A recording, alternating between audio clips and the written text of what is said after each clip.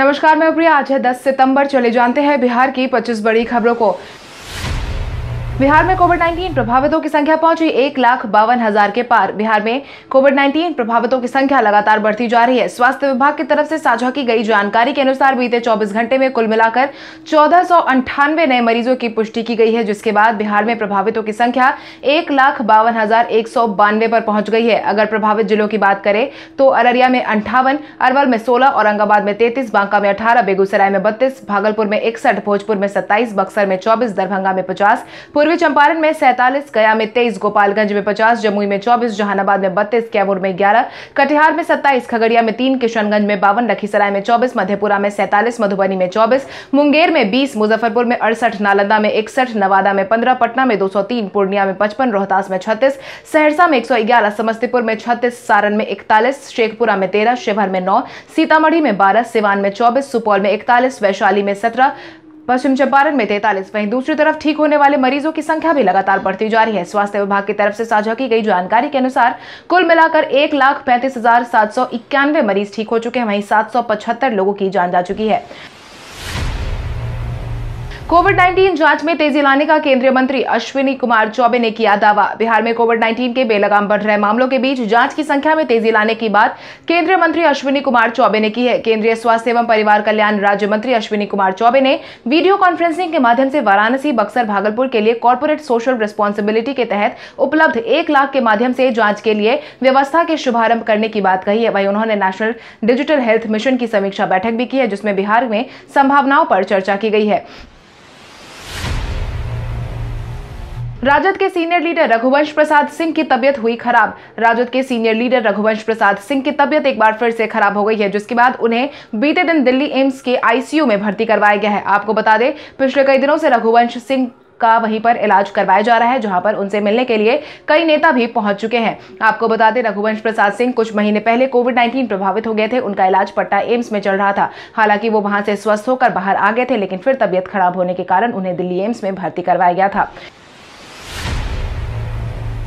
बिहार के किसान पशु और मत्स्य पालकों को प्रधानमंत्री नरेंद्र मोदी देंगे बड़ी सौगात। मुख्यमंत्री नीतीश कुमार के बाद अब प्रधानमंत्री नरेंद्र मोदी आगामी विधानसभा चुनाव से पहले बिहार के किसान मत्स्य पालकों को बड़ी सौगात देने वाले हैं। भाजपा के प्रदेश अध्यक्ष डॉक्टर संजय जायसवाल ने इस बात की जानकारी देते हुए बताया है की प्रधानमंत्री नरेंद्र मोदी जल्द ही बिहार के दो सौ चौरानवे करोड़ की विभिन्न योजनाओं का शिलान्यास करने वाले हैं। उन्होंने बताया कि प्रधानमंत्री नरेंद्र मोदी 10 सितंबर, यानी कि आज दो सौ चौरानवे करोड़ की अलग अलग योजनाओं की सौगात दे सकते हैं। जिसमें न केवल ग्रामीण अर्थव्यवस्था को मजबूती मिलेगी, बल्कि बिहार जैसे कृषि प्रधान राज्य की आत्मनिर्भरता भी बढ़ेगी।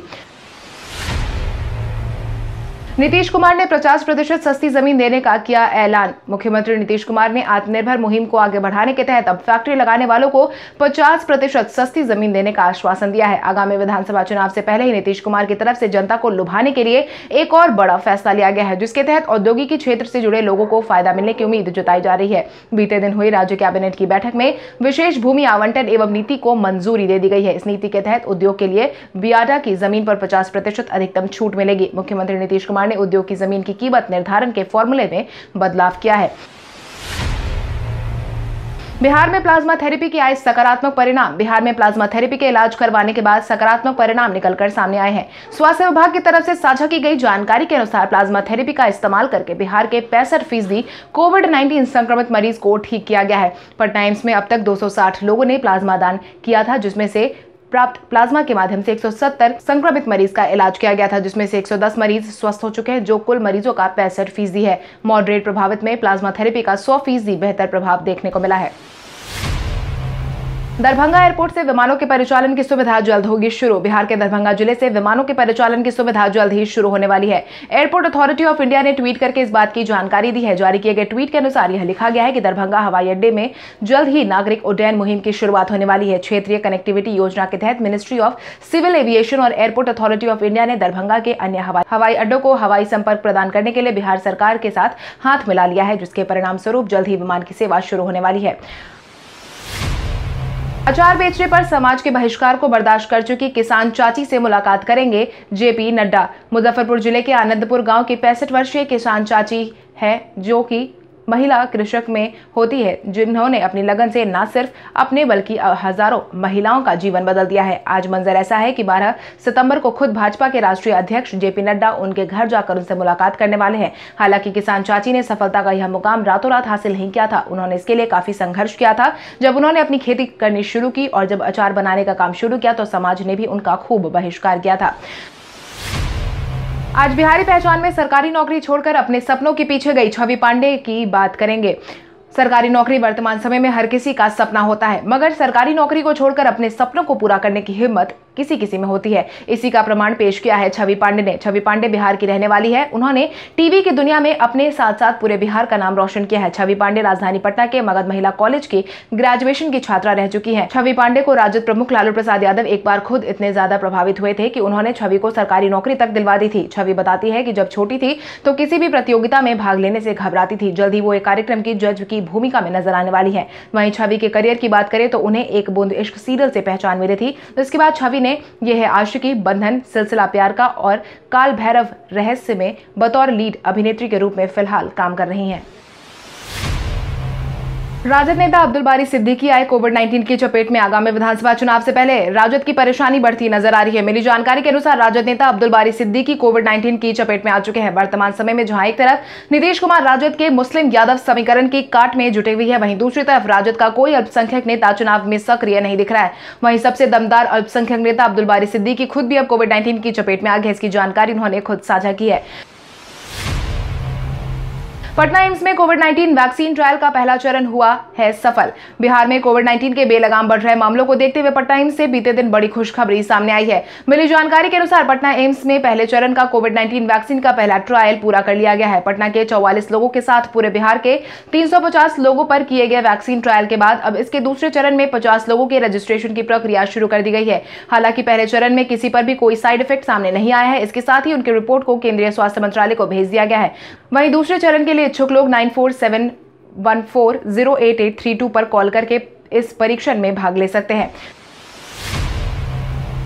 यूपी से बिहार आने में अब यात्रियों को होगी सहूलियत। अब यूपी से बिहार आने जाने में यात्रियों को काफ़ी सहूलियत होने वाली है, क्योंकि पूर्वी परिमंडल कोलकाता के रेल संरक्षा आयुक्त ने दानापुर मंडल के दिलदार नगर, तारी घाट विद्युतीकृत रेलखंड पर ट्रेनों का परिचालन इलेक्ट्रिक इंजन से करने की अनुमति प्रदान कर दी है। अब इस रेलखंड पर विद्युत ट्रेनों का परिचालन जल्द शुरू हो सकेगा। इसके पहले उन्नीस किलोमीटर लंबे इस रेल मार्ग का विद्युतीकरण होने के बाद पिछले महीने चौदह अगस्त को रेल संरक्षा आयुक्त द्वारा इसका निरीक्षण किया गया था। निरीक्षण करने के बाद अब जाकर इसे मंजूरी दे दी गई है। बेरोजगारी के खिलाफ तेजस्वी यादव ने राबड़ी देवी और तेज प्रताप यादव के साथ मिलकर जलाई लालटेन।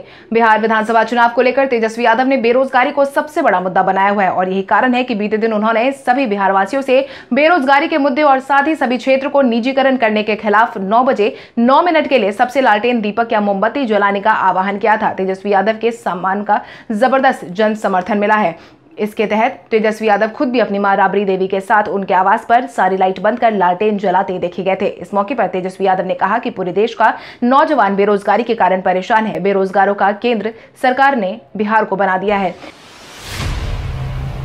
पटना से दिल्ली तक के लिए बस सेवा आज से होगी शुरू। दिल्ली के लिए बस सेवा की शुरुआत आज से होने वाली है। बिहार राज्य पथ परिवहन निगम ने दिल्ली के लिए दो बसों को खोलने का फैसला सुनाया है। दिल्ली के लिए दो तरह की बसों का परिचालन होगा, जिसमें सीटर और स्लीपर दोनों बसें मौजूद होंगी। सीटर सुबह 11 बजे और स्लीपर बस एक बजे खोली जाएँगी। सीटर बस का किराया सोलह सौ वहीं स्लीपर में उन्नीस सौ रहेगा। दिल्ली जाने वाले बसें मुजफ्फरपुर, गोपालगंज होते हुए गोरखपुर से आगरा, लखनऊ होते हुए दिल्ली जाएगी। बीस घंटे में आसानी से यात्री दिल्ली पहुँच जाएँगे। वहीं सभी यात्रियों से ऑनलाइन बुकिंग करवाने का आग्रह किया गया सिर्फ़ दिल्ली ही नहीं, बल्कि झारखंड और नेपाल के लिए जल्द बस की सेवा शुरू की जाएगी। मुख्यमंत्री नीतीश कुमार से मिलने नहीं पहुँचे तेजस्वी यादव। बीते दिन मुख्यमंत्री नीतीश कुमार को घंटों इंतज़ार करवाकर तेजस्वी यादव उनसे मिलने नहीं पहुँचे। मुख्यमंत्री नीतीश कुमार की तरफ़ से आयोजित एक बैठक के दौरान तेजस्वी यादव का करीब 45 मिनट तक उन्होंने इंतज़ार किया। बैठक में शामिल होने नहीं पहुँचे, जिसके बाद मुख्यमंत्री नीतीश कुमार मुख्य सचिवालय के कार्यालय से निकलकर अपने आवास लौट गए। आपको बता दें, राज्य सूचना आयोग की नियुक्ति के लिए बीते दिन यह बैठक बुलाई गई थी। सड़क का शिलान्यास करने पहुँचे भाजपा विधायक को झेलनी पड़ी लोगों की फजीहत। कहने को बिहार सरकार लोगों के हित में खूब सारे काम करते आई है, मगर जमीनी स्तर पर बिहार की जनता सरकार के काम से कुछ खास संतुष्ट नज़र नहीं आ रही है। इसी क्रम में बीते दिन एक बार फिर से जनता के बीच पहुँचे भाजपा के नगर विधायक संजय सरावगी को जनता ने गो बैक नारे का सामना करना पड़ा। आपको बता दें, सड़क का शिलान्यास करने संजय सरावगी पहुँचे थे। उस सड़क का शिलान्यास विगत लोकसभा एवं विधानसभा के चुनाव में भाजपा के सांसद और विधायक की तरफ़ से किया जा चुका था। परंतु चुनाव जीतने के बाद आज तक इस सड़क का निर्माण नहीं करवाया गया। बार बार शिलान्यास किए जाने को लेकर स्थानीय लोग नाराज़ नज़र आए। उद्योग लगाने की सूची में बिहार लुढ़का छब्बीसवें स्थान पर। ईज ऑफ़ डूइंग बिज़नेस में बिहार को छब्बीसवां स्थान दिया गया है। बिहार पिछली बार अठारहवें स्थान पर था और अब इस बार अपने परफॉर्मेंस के कारण छब्बीसवें स्थान पर लुढ़क गया है। आपको बता दें ईज ऑफ़ डूइंग बिज़नेस का अर्थ है कि देश में कारोबार करने में कारोबारियों को कितनी आसानी होती है, यानी कि किसी भी देश में कारोबार शुरू करने और उसे विकसित करने के लिए माहौल कितना अनुकूल है, जिसमें बिहार का परफॉर्मेंस निराशाजनक रहा है। बीते दिन राजद नेता भोला रॉय के साथ सैकड़ों कार्यकर्ता ने दिया सामूहिक इस्तीफा।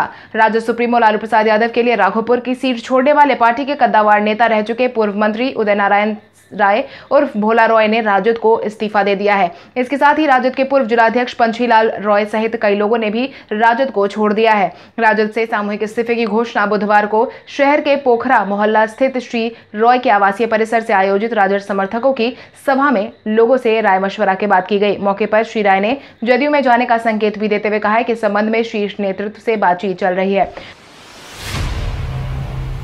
बिहार क्रांति वर्चुअल महासम्मेलन में कांग्रेस ने बिहार में सत्ता परिवर्तन को बताया तय। बिहार क्रांति वर्चुअल महासम्मेलन में बीते दिन कांग्रेस ने सरकार पर एक के बाद एक आरोप लगाए, जिसके तहत कांग्रेस के वरिष्ठ नेता, पूर्व मंत्री प्रमोद तिवारी ने आरोप लगाया कि कोरोना के माहौल में बिहार के लोगों ने काफ़ी परेशानी झेली है। दूसरे राज्य अपने लोगों को बुलाने के लिए गाड़ियाँ भेज रहे थे, तब बिहार में उन्हें आने से रोका जा रहा था। बिहार के विकास के लिए बिहार को भाजपा जदयू से बचाने की ज़रूरत है। पिछले पंद्रह साल में बिहार और मिथिलांचल को कुछ नहीं मिला। सरकार ने बस लोगों को बेवकूफ़ बनाया है, वही प्रभारी सचिव अजय कपूर ने कहा है कि बिहार में इस बार सत्ता परिवर्तन तय है। मोदी सरकार ने भागलपुर वासियों को दी बड़ी सौगात। आगामी विधानसभा चुनाव को ध्यान में रखते हुए केंद्र सरकार की तरफ़ से भागलपुर वासियों को बीते दिन बड़ी सौगात दी गई है, जिसके तहत केंद्रीय सड़क परिवहन और राजमार्ग मंत्रालय की तरफ़ से नौ सौ इकहत्तर करोड़ की धनराशि बिहार में एनएच अस्सी मुंगेर, भागलपुर, तिरुपति, कहलगांव, मिर्ज़ा चौकी तक एक सौ बीस किलोमीटर सीमेंट कंक्रीट मार्ग बनाने के लिए स्वीकृत कर दिया गया है। आवश्यकता अनुसार इस जगह पर मार्ग को चार लेन में भी बदला जा सकता है। नई सड़क की मरम्मत के लिए मंत्रालय की तरफ़ से बीस करोड़ रुपए भी दिए जा चुके हैं। जहाँ प्रमुख पप्पू यादव ने मुख्यमंत्री नीतीश कुमार को खुद को क्विंटलिया बाबा बताने पर ली चुटकी। जन अधिकार पार्टी प्रमुख पप्पू यादव ने मुख्यमंत्री नीतीश कुमार को बीते दिन निशाने पर लिया है, जिसके तहत उन्होंने बिहार को गरीबी में छब्बीसवें स्थान और भूख में पच्चीसवें स्थान पर पहुँचाने की बात कही है, जिसके तहत उन्होंने बेरोजगारी और शिक्षा में बिहार सबसे निचले पायदान पर पहुँचने का दावा भी किया है। बिहार में बेरोजगारी को छियालीस प्रतिशत से ऊपर पहुँचा दिया है। हालाँकि, आपदा के समय घरों में नहीं निकलने वाले अपनी पीठ थपथपा रहे अपने मुँह मिया मिट्टू बनने की कोशिश कर रहे हैं नीतीश कुमार खुद को क्विंटलिया बाबा कहने में लगे। हुए बेरोजगारी के कारण गरीबी और भूख से परेशान हो रही जनता के लिए इससे भद्दा मज़ाक नहीं हो सकता है। लालटेन जलाने के बाद तेजस्वी यादव ने सरकार को लिया निशाने पर। नेता प्रतिपक्ष तेजस्वी यादव के आह्वान के बाद पटना के 10 सर्कुलर रोड स्थित राबरी आवास पर लालटेन जलाकर बेरोजगारी और निजीकरण के खिलाफ विरोध किया गया। इस मौके पर तेजस्वी यादव ने सरकार को भी निशाने पर लिया है, जिसके तहत नौ बजे नौ मिनट के कार्यक्रम के बाद तेजस्वी यादव ने कहा की नौजवानों के संघर्ष के साथ राजद हमेशा खड़ी है। सबसे ज़्यादा युवा वाला राज्य है बिहार और यह बेरोजगारी का केंद्र बना हुआ है। सरकार होने के बावजूद बेरोजगारी बढ़ी है। वहीं उन्होंने प्रधानमंत्री नरेंद्र मोदी को लेकर कहा कि दो करोड़ रोज़गार देने की सरकार ने बात कही थी, लेकिन रोज़गार नहीं मिला। सरकार जवाब दे कि दो करोड़ रोज़गार कहाँ है। भोजपुरी एक्ट्रेस अक्षरा सिंह ने कंगना रनौत को लेकर दी अपनी प्रतिक्रिया। महाराष्ट्र सरकार और कंगना रनौत के बीच जारी जद्दोजहद के बाद बीते दिन मुंबई पहुँच चुकी कंगना रनौत को एयरपोर्ट पर काफ़ी फजीहत का सामना करना पड़ा। उनके समर्थक और उनके खिलाफ आवाज़ उठाने वाले दोनों की लंबी कतार देखने को मिली। वहीं कंगना रनौत को लेकर भोजपुरी एक्ट्रेस अक्षरा सिंह ने अपनी प्रतिक्रिया ज़ाहिर की है, जिसके तहत उन्होंने कंगना रनौत को सपोर्ट किया है। अक्षरा सिंह ने फेसबुक पर लाइव आकर कहा कि बीएमसी ने कंगना के ऑफ़िस को तोड़कर सिर्फ़ उनका रास्ता रोकने की कोशिश की है। उद्धव ठाकरे कंगना को आगे की मुहिम के लिए रोक सकते हैं, लेकिन उनके हौसलों को नहीं। अब फेसबुक पर आसानी से ऑफ़ कर सकते हैं auto play feature social media site Facebook पर दिखने वाले वीडियो अपने आप कई बार प्ले हो जाते हैं। ऐसे वीडियोस पेज पर लोड होते हैं या फिर ऐप पर स्क्रोल करते वक्त ही अक्सर प्ले हो जाते हैं। इस तरह ऐप और प्लेटफॉर्म पर यूज़र का एक्सपीरियंस बेहतर होता है। हालाँकि कई बार यूज़र को ऑटो प्ले फीचर पसंद नहीं आता और इसके कुछ नुकसान भी है। हालाँकि अब ऑटो प्ले ऑफ़ करना चाहे तो आसान स्टेप्स को फॉलो करके ऐसा किया जा सकता है, जिसके तहत सबसे पहले पेज के टॉप राइट में देखने वाले ड्रॉप डाउन मेन्यू पर जाएँ। इसके बाद सेटिंग्स और प्राइवेसी पर क्लिक करें। इसके साथ ही इसमें सेटिंग सेलेक्ट करें, इसके बाद लेफ़्ट हैंड मेन्यू से वीडियोस पर क्लिक करें और यहाँ ऑप्शंस टोंगल में आपको वीडियो ऑटो प्ले ऑफ़ कर सकेंगे। युवराज सिंह ने संन्यास से वापसी का लिया फैसला। भारतीय टीम के शानदार बल्लेबाज रह चुके युवराज सिंह ने अब अपने संन्यास को वापस लेने का फैसला लिया है, जिसके तहत युवराज सिंह ने बीसीसीआई अध्यक्ष सौरभ गांगुली को पत्र भी जारी कर दिया है, जिसके तहत युवराज सिंह ने पंजाब क्रिकेट संघ के अनुरोध पर वापसी करने का फैसला लिया है। विश्व कप दो हज़ार ग्यारह के प्लेयर ऑफ़ द टूर्नामेंट रह चुके युवराज सिंह ने पिछले साल जून में क्रिकेट के सभी प्रारूपों से संन्यास लेने की घोषणा की थी। मिली जानकारी के अनुसार युवराज सिंह ने कहा कि शुरू में इस पेशकश को स्वीकार करने के बारे में घरेलू क्रिकेट खेलना बंद कर चुका था। हालाँकि मैं दुनिया भर में अन्य घरेलू फ्रेंचाइजीज लीग में खेलना जारी रखना चाहता था। अगर मुझे बीसीसीआई से अनुमति मिल जाती है तो मैं वापस मैदान में लौट कल हमारे द्वारा पूछे गए सवाल का जवाब आप में से बहुत सारे यूज़र ने हमें कमेंट करके दिया था। उसके लिए आपका बहुत बहुत धन्यवाद। आप में से जिन यूज़र का कमेंट हमें अच्छा लगा है, उनके नाम है राजा भैया, नीतीश कुमार, नूतन सिंह समथिंग स्पेशल लालू कुमार, पप्पू पासवान, वीरेंद्र सिंह, लक्ष्मीपति, रीवा कुमारी, प्रहलाद सिंह, गुंजन पटेल, निराला मोहन, रामदास सिंह कृष्ण नंदन वर्मा, लाल सिंह राजपूत। आप इसी तरह हमारे सवालों का जवाब देते रहे। हम कल आपका नाम लेने की पूरी कोशिश करेंगे। तो चलिए बढ़ते हैं आज के सवाल की और आज का सवाल कुछ इस प्रकार है। आपके अनुसार युवराज सिंह के संन्यास से वापस आने की अनुमति बीसीसीआई को देनी चाहिए या नहीं? अपने जवाब हमें कमेंट करके ज़रूर बताएँ। इसके साथ ही आज के लिए बस इतना ही। अगर आप वीडियो हमारा यूट्यूब पर देख रहे हैं तो हमारे चैनल को सब्सक्राइब करें और बेलाइकॉन दबाना ना भूलें। और अगर आप वीडियो हमारा फेसबुक पर देख रहे हैं तो इस वीडियो को लाइक करें और ज़्यादा से ज़्यादा शेयर करें। धन्यवाद।